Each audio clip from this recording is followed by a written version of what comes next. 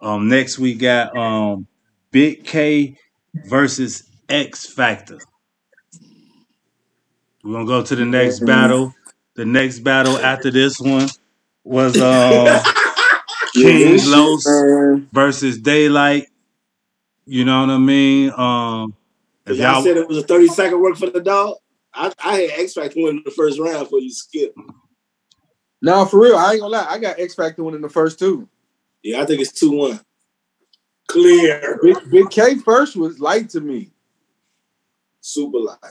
Nigga, you a- nigga, you softer than Miss Hustle new ass, nigga. so y'all got it. So y'all got it. Uh, X Factor two one. No Nah, sir, Bigg K 2 1. no sir.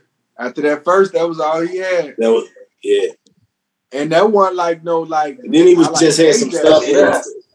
So y'all giving X Factor the first because y'all appreciate his his his veterism and things like that.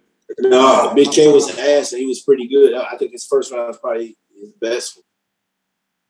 He had some shit in the first. What y'all After thought? that- what y'all think of that third round from X Factor? The whole racist stuff. The whole racist stuff.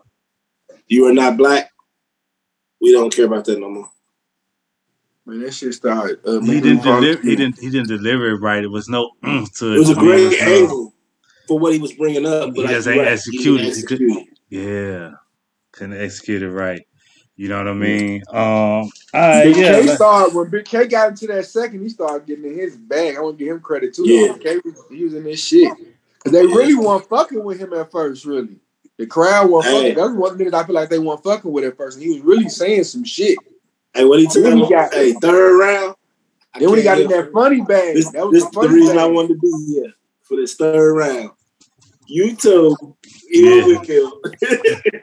yeah, that boy be awesome. on some cringeworthy. Mm. So y'all okay? Okay. That was lackluster or whatnot. Um. Then we came with um when it was time to hold it down. King Los versus Daylyt.